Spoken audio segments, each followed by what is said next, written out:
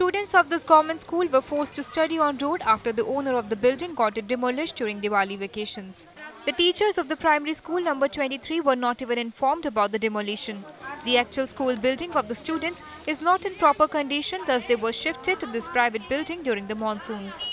बीच में जो दो चार दिन की छुट्टी दिवाली की हुई इस बीच ये हुआ है और नगर क्षेत्र में ये किराए की बिल्डिंग में ये चल रहा था और इससे पहले हमारे डीओ बेसिक भी आ चुके हैं यहाँ पे। उन्होंने इंस्पेक्शन किया तो देखा थोड़ा सा जर्जर हालत थी तो इनके लिए ऑर्डर किया था कि यहाँ जो नज़दीक हाई स्कूल चल रहा है, वहाँ पे ये बच्चे पढ़ रहे थे कुछ टाइम से क्योंकि बारिश में थोड़ी सी परेशानी होती थी, रूम भी ठीक नहीं थे।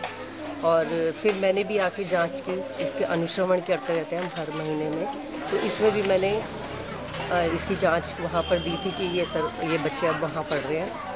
और अब जो ये किया गया ये तो बहुत गलत हुआ है क्योंकि छुट्टियों का फ़ायदा उठाया गया। उन्हें भी मालूम था कि चार दिन की छुट्टी है बच्चे भी नहीं होंगे टीचर्स भी नहीं होंगे और इस बीच उन्होंने अंदर से तोड़ दिया है और बाहर ताला लगा दिया। हम सुबह आए तो यहाँ पे ताला लगा पड़ा था और हम अगर आते तो कहाँ पढ़ते? School principal along with the students went to the police station to lodge a complaint against the landlord but were rebuked by terming it as a frivolous plea.